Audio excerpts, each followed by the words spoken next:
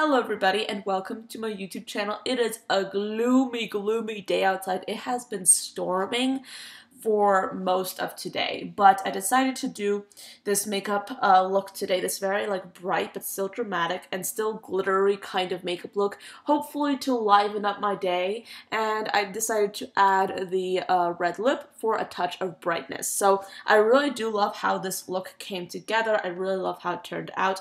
I used so many different colors, like so many different unexpected colors. I mean, you have the red, but then you have the orange, the plum, the blue, the silver and you know glitter and sparkle throughout so it's a little bit of a um like a different color story and I really do love the way it turned out. So if you want to see how I created this particular makeup look, then of course keep on watching. I think that the first palette I want to get into is definitely the Dose of Colors Blushing Berries palette. I want to specifically work with this color right here.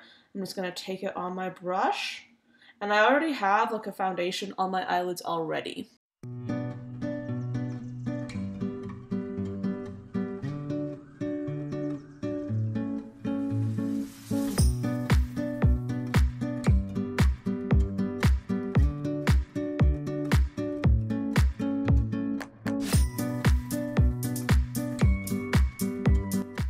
Definitely concentrating this color more on my outer corner. I'm kind of sketching out like a slight angle with this shadow and I'm also applying it very uh, lightly into my crease as well. So this is the kind of look that's sort of coming together. I know super messy but you guys know that I kind of really do like to experiment and I like to like just throw on the color and then fine tune it later on.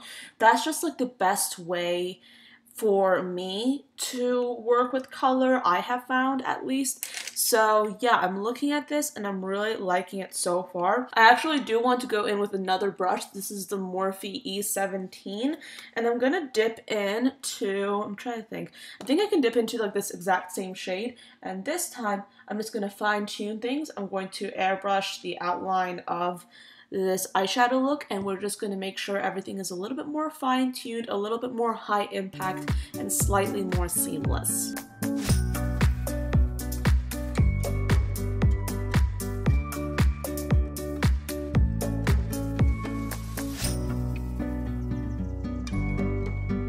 I kind of do want to do um, a brow bone highlight. So I'm just going to go ahead and do that super quickly. I'm dipping into this color from the Masquerade palette and I'm just going to apply this color right into my brow bone area.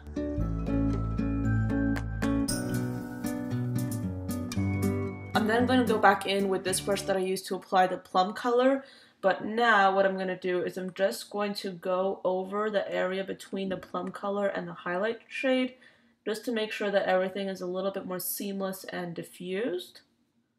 And now that that's done, I'm going to go in with this brush right here. This has a little bit of green shadow on it, but I've been like swatching it on my hand and I think I got most of it out and I don't think that this will affect the eyeshadow look, so I'm just going to leave it the way it is. And I'm going to apply uh, this blue color into my inner crease using this particular brush.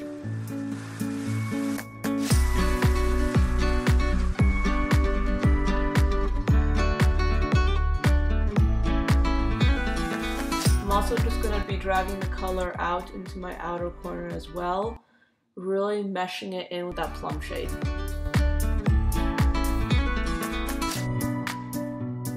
I think I'm also going to dip into this shade using my fingers and just apply this right next to that really beautiful pinky purple shade just to deepen the look even further.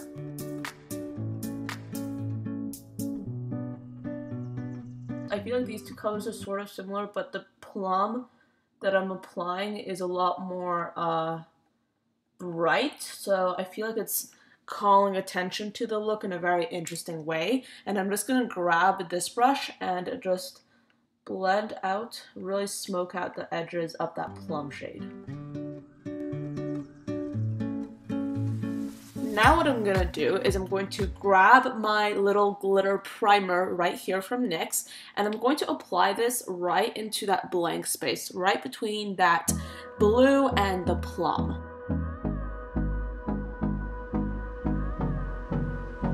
And then on top of that, I'm going to be applying this color right here, which is like this beautiful metallic, really deep kind of turquoisey color. It's a very interesting shade, and this is going to be applied right on top of the glitter primer. Hold me close till I get up. Time is barely on our side.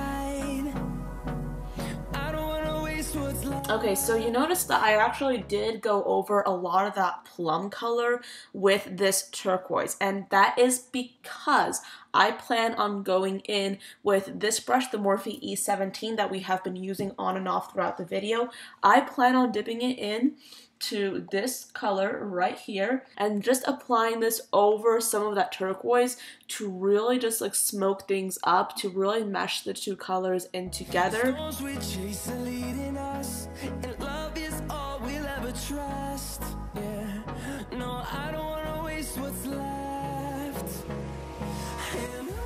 even decided to go in with my fingers and apply that plum and then fluff it out with the brush but I'm looking at that blue, okay, that blue that I was applying into my inner crease, and it's looking a little bit lackluster, so I want to go in with some more of it using the same brush, and just to intensify that blue, I'm just going to go over it again, this time using like patting slash wiping motions to really get that color um, as intense as possible. So I really do like the colors in here, but it's looking a little bit like, mm, not so like fantabulous, you know?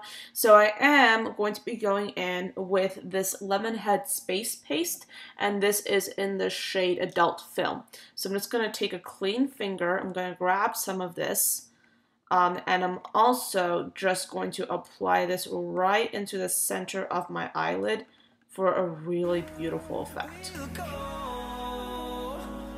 Through the wastelands, through the highways, till my shadow turns to sun rays, and on and on we'll go. Like I've said so many times before, glitter makes you look so much better at makeup than you actually are. I'm then going to go in with some foundation. I believe that I want to use this one right here, the Fiona Stiles Matte Finish Foundation Concentrate. I'm just gonna pump a little bit on the back of my hand and I'm gonna take my flat brush right here and I'm just going to apply a little bit of it right um, immediately to the places where I feel I need the most coverage and then I'll be going in with a buffing brush just to spread everything around a bit and blend everything in. Basically I want to apply as little foundation to my face as possible but I do want to even things out and I do want to apply some coverage to certain areas.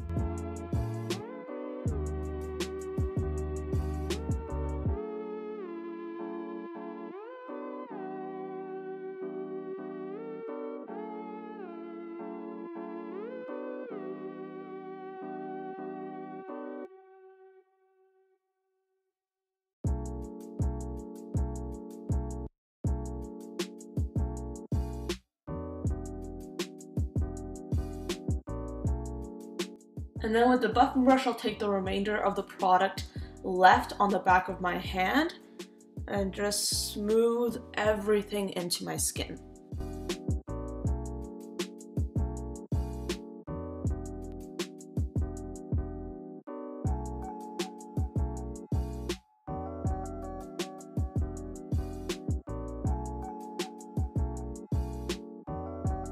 Okay, so I kind of want to throw a little bit of a curveball into this look, and I'm gonna do that by using this orange shade in my lower lash line.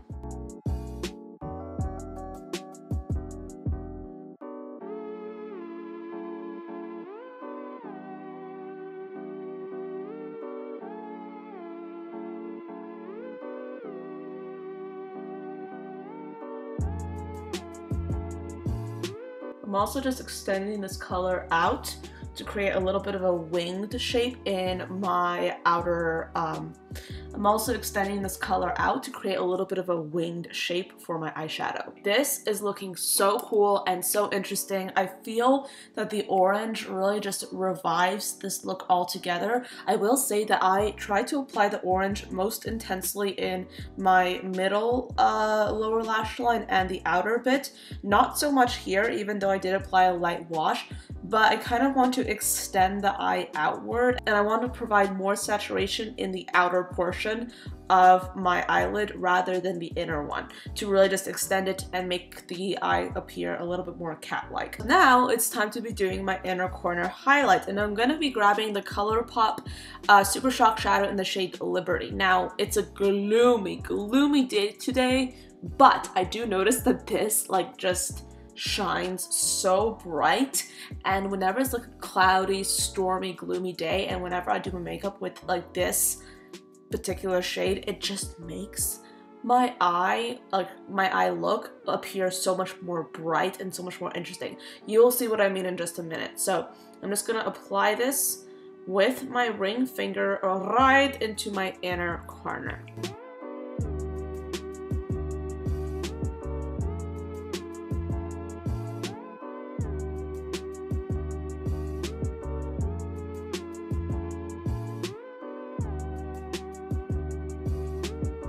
See what I mean, right? It is really just such a bright and beaming addition to this entire look, and that combined with the glitter, I just love this. So now what I'm gonna do is I'm gonna work on my face. I have these palettes right here, which I've been trying to get into. These are the City Color Contour Effects palettes. I usually just like to experiment with both of these. I recently featured these in my bronzer, uh, the good, the bad, and the unused video, and that video will be in the cards if I remember to put it there. I will hope that I do. But uh, this is like, these are like some really interesting formulas. They're really good in my personal opinion. But I will be using a combination of this white, okay, that's a lot, and also this like really beautiful creamy sort of highlight color. And I'm just gonna apply this to the high points of my face.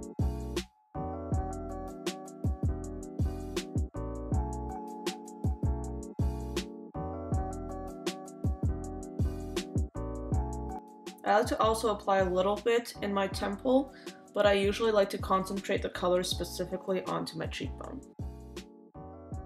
I actually do like to make sure that I apply more highlight to my cheekbone area, in fact, far more rather than the center of my face because when I apply my highlight to my cheekbone area, I'm trying to basically almost create slash enhance a bone structure, okay? Here, I don't really need to bring anything forward because my nose my chin, and my cupid's bow, they are already being brought forward by my natural bone structure. However, I don't have very like just sharp and chiseled cheekbones, which is why I apply the highlight so heavily in my cheekbone area. If I applied a lot of heavy highlight in my nose, like in my chin area, it would take away from this area right here, which I do not want. So that's why I apply a great deal more highlight here and just a little bit into this area area right here. I personally am not a fan of like the very super like uh, highlightery nose. Like I just don't like that. I just like to make sure it's a little bit natural here, but a little bit more concentrated here. That's just my personal uh, preference. Now what I'm gonna do is I'm going to take my little bronzing brush right here. I'm gonna dip it into a combination of these two shades right here and I'm gonna use these to chisel out my face.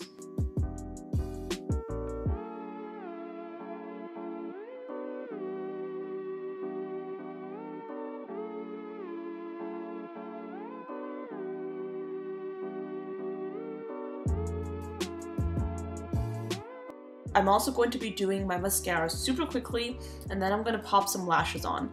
The lashes I'm using are the House of Lashes Iconic Lite. And then for lips, I decided to go for like a really, really vibrant red lip. The one that I was using today was from ColourPop. This is in the shade Little Weapon. This is a ultra matte, a liquid lipstick. It is currently discontinued though. I just really like using it and I decided to use it on camera today because I really do like how it looks with this particular look but of course you can use whatever favorite red lipstick you currently own. Now I'm going to go for some lip gloss and this particular one is the Jordana Cosmic Glow Hollow. I'm also going to be doing my mascara super quickly and then I'm going to pop some lashes on. The lashes I'm using are the House of Lashes Iconic Lite. And then for lips, I decided to go for like a really, really vibrant red lip. The one that I was using today was from ColourPop. This is in the shade Little Weapon. This is a ultra matte, a liquid lipstick. It is currently discontinued though. I just really like using it and I decided to use it on camera today because I really do like how it looks with this particular look but of course you can use whatever favorite red lipstick you currently own.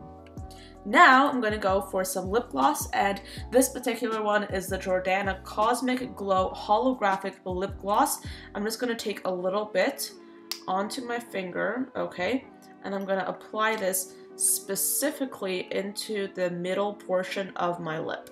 It adds just the right amount of gloss to really make my lips look a little bit more full. So this is the finished look right here. I really love how this ended up looking. It is a little bit like um, sultry, it's definitely more dramatic, but I love how bright and how fun it is with the addition of the orange on the lower lash line and then also the uh, red lip. And of course, I do love the glitter. So I hope you guys enjoyed this makeup look as well. Thank you so much for watching till the end and I'll be seeing you in tomorrow's video. Bye guys!